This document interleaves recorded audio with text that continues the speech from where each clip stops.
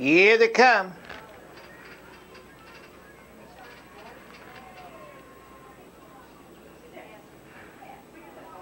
They're off. Down along the inside, Adatonic with Justamini between horses.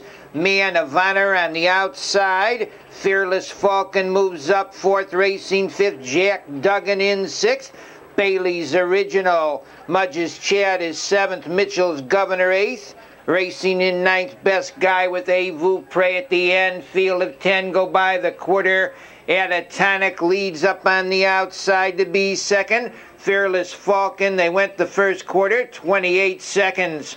Over to the half mile mark. Fearless Falcon on the outside gets the lead, racing in second position. That's Adatonic in third as they go to the half mile marker now. Just a Mini Racing. Fourth is the Man of Honor. In fifth, Bailey's Original racing along the rail. Sixth to the half mile pole. Mitchell's Governor, the half, 57 seconds. Just a Mini gets the lead a length.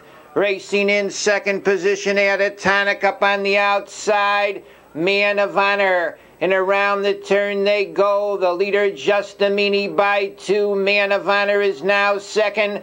Down along the inside third as they turn for home.